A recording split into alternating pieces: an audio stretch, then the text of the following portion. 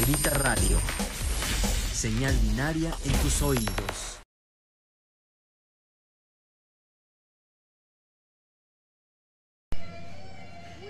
No hay fecha que no se cumpla. Hace unos meses estábamos platicando de este gran festival, nos enlazamos a través de, Zoom, y estuvimos platicando. Y bueno, llegó el día, llegó el concierto, llegó el momento y ahora, después de este concierto, queremos felicitarte porque ha sido una gran presentación. Hemos tenido un par de veces la oportunidad de verte y ahora la verdad es que le viniste a poner un poquito de calor porque está haciendo mucho frío aquí en Texcoco. Le pusiste calor, le pusiste energía y le pusiste todas las pilas del mundo. Está, está con nosotros obviamente Charles Sanz, le damos la bienvenida con nosotros aquí en Grita Radio. ¿Cómo estás? Bueno, orden, carnalitos.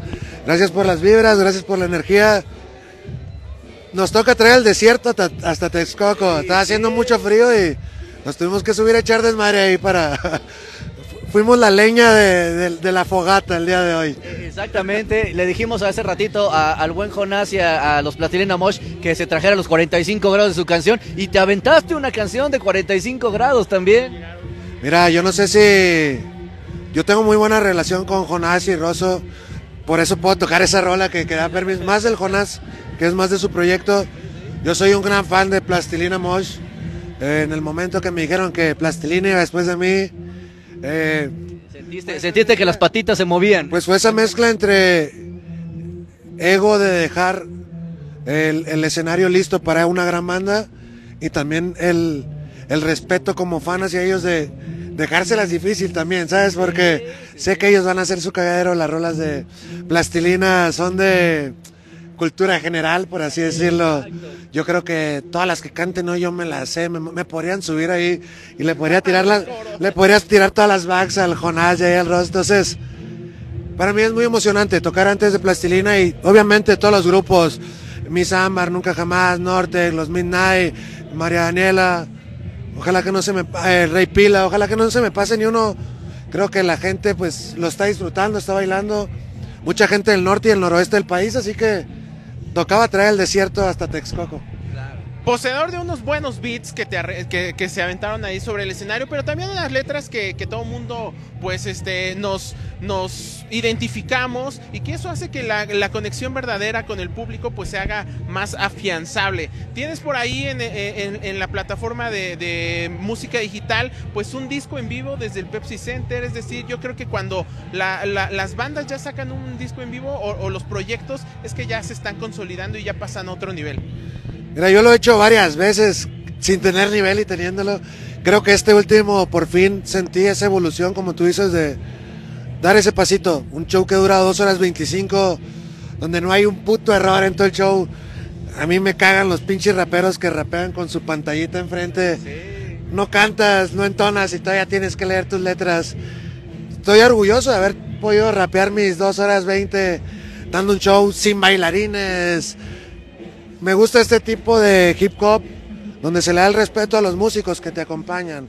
En el caso del Pepsi Center fuimos con acordeón, con docerola, con guitarra eléctrica, con Miss Ámbar en los coros, con BCN tirando los sintetizadores, las baterías, trombón, trompeta, saxofón. Es como tú dices, creo que hoy dimos ese pasito, nos animamos. Yo soy una persona muy juzgona conmigo mismo, por eso no me grabo tanto, así que Dije, vamos a darle. El Pepsi Center había 8 mil boletos vendidos. Dije, hay que grabarlo. Dios tuvimos ahí un fuerte impacto y como te digo, dos horas 20 sin un error, creo que ya, ya dimos ese pasito ahí de, de madurez o al menos que ya logramos esta estabilidad musicalmente hablando. El hip hop lleva muchos años haciéndose desde los años 90. El hip hop ha evolucionado, siempre estuvo muy correteado, ¿no? Eh, no estuvo muy bien visto. En realidad, ahorita estamos en una generación en donde están consumiendo mucho hip hop y tienes una responsabilidad muy grande para dar una comunicación a los jóvenes, para saber qué es lo que tienen que hacer, qué no tienen que hacer. El hip hop, el hip hop siempre estuvo como por el lado más malandro, ¿no? O sea, siempre fue, pero porque la situación lo, lo- los llevó a ese, a ese entorno. A ti y en este momento el hip hop lo está llevando ya a una manera mucho más fácil de disfrutar. En este, en este proceso de tú disfrutar la música y la comunicación y todo lo que tienes atrás encima para poderlo transmitir eh, de aquí en adelante, ¿cuál es ese peso que estás sintiendo sobre dar esa responsabilidad?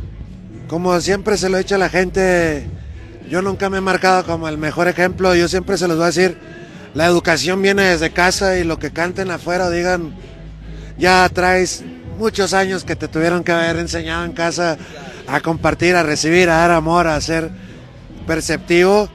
Eh, sin embargo, entiendo la responsabilidad que dices tú.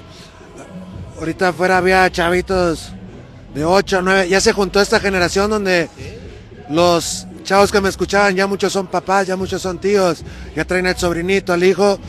En lo que puedo colaborar yo es lo que respeto en mis canciones. Yo en mi música no utilizo lenguaje explícito, creo que hay un sinfín de palabras en el, vocabulario del español como para utilizarse. Y dos, en mis videos yo nunca incito violencia, armas, carros de lujo, 15 supermodelos contigo. Si algo puedo reflejar es realmente lo que soy, como yo siempre he dicho, no soy el gran ejemplo. Me meto en muchos pedos, muchos líos, yo también soy un ser humano, aprendo el día a día y como les digo, la educación viene desde casa, sin embargo, el respeto por los más chicos lo tengo aquí arriba porque conecto mucho con los niños. No sé por qué. Eh, por ahí dicen que el, Aries es el niño eterno del horóscopo y yo conecto demasiado con los niños. Entonces, lo respeto y no quiero ser una influencia negativa, más siempre lo voy a decir a los papás, tíos, abuelos. Yo no soy el ejemplo número uno. Edúquenlos bien y yo voy a ayudar a que vibren bonito hacia el amor, a lo positivo, pero que no me tomen como su ejemplo número uno, que, que también soy un cagadero igual que todos. Y la música es la que habla, ¿no? Sí, claro que sí, la música y el corazón. Claro. Importantísimo que Charles Sanz pues ha sido semillero también para nuevos proyectos, bien lo mencionaste anteriormente a Miss Ámbar, que también estuvimos con ella entrevistándola, que también estuvimos viendo el acto. Y bueno, esto es importante siempre que, que, que los proyectos consolidados apoyen a los que vienen detrás. Y se subió contigo al escenario, disfrutó también de un público más robusto de que, del que a ella le tocó y qué buena onda que, que pues estés haciendo esta conjunción con, con estos proyectos. Además de Miss Ámbar, ¿tienes alguien más que estés apoyando? ¿Alguien más que esté subiendo contigo a, este, a estos escenarios? Pues este último bimestre del año presentamos un disco que se llama Órbitas en compañía con el maestro Charif, un rapero de la escena old school de, de Zaragoza, si no me equivoco un jefe de jefes. El otro año tenemos 16 fechas juntos. Vamos a estar por México, Sudamérica y España. Eh, por ahí también el proyecto de Miss Ámbar. El próximo año presento un disco con ella que se llama Serendipia. Seis canciones juntos, donde mi intención es que ya Ámbar, a partir del 2025, ya haga estos festivales, estemos nosotros o no. Creo que es una oportunidad grande para que ella siga jalando a chicas a su proyecto que se arme una banda de puras morras o los chicos que a ella le guste tocar, pero creo que hay que pagar ese karma. Hay que ayudar para que ella siga yendo por más gente de Sonora y que la que ayude traiga más gente de Sonora y como dice el carnal, poco a poco vamos a ir llegando la oleada sonorense como, como en algún momento fue la oleada regia, ¿sabes? Exacto, y la oleada obviamente de Sonora tiene que ponerse, pusiste todo el calor el día de hoy, la verdad es que teníamos frío, nos quitamos una chamarra porque teníamos que estar brincando, toda la gente estuvo disfrutando. Y obviamente agradecerte mucho que estés aquí con nosotros, eh, la verdad es que te deseamos toda la suerte del mundo, como tú dices, el mensaje, el mensaje va para toda la gente, para que también los niños la puedan consumir. Y obviamente pues, eh, pues este fin de semana, este fin de semana se consolidó al final de cuentas, hicimos el último, fue una posada, porque ya estamos en las posadas, fue una buena posada, ¿no? Es lo que dije, si nos hubieran, puro de Sonora y Monterrey, Tijuana, si nos hubieran puesto una asadora fuera de cada escenario, hubiéramos podido jugarnos un tiro quién, en qué ciudad o estado se cocina mejor, hubiera sido hasta para el que grabe los videos hubiera estado bien verga ese recap, ¿no? De, no, no. Tiro a la parrilla, tiro a la parrilla. un mano a mano en parrilla para hacerlo. Un día hay que hacerlo, hay que hacer un mano a mano en parrilla, nos traemos... A mí me encanta cocinar, yo le entro a los vergazos duro. Me la van a pelar dos, tres de los que están allá. Lo, lo, vamos a organizar, vamos a poner una parrilla y nos traemos a todos ustedes y ahí que se arme pues la, la batalla de la batalla de la carne, ¿no? Encantados, encantados. Les van a faltar manos allá atrás. Oye, pues qué gusto, gracias por haber estado aquí con nosotros. Nos tenemos que despedir. Ya está por subirse Brasilina Mocha al escenario. Y bueno, pues algo más que quiere decirle a toda la gente que nos ve y escucha a través de Grita Radio. Nada, que yo también dejo de ser artista y ahorita me voy de fan a escuchar. Familia chula, gracias por el tiempo, por escuchar nuestras tonterías, todo lo que balbuceamos. Carnales, gracias un chingo por el tiempo. Gusto verlos de nuevo y espero que se siga repitiendo, ya sea en festivales o en algún evento mío. Ya saben, están invitadotes. Las chicas de las cámaras también. Besotes y gracias acá por recibirme, encantado. Al contrario, mira, nosotros no nos digas porque cada vez que nos dicen este invitado, ahí vamos, porque a todos nos invitan, estamos obviamente y nos gusta obviamente apoyar todo lo que es la música. Obviamente, Charles Sands, estamos eh, siguiendo siempre toda la música desde que empezaste hasta el día de hoy y lo felicitamos. La verdad es que un aplauso muy grande para ti. Un pinche abrazo, entonces.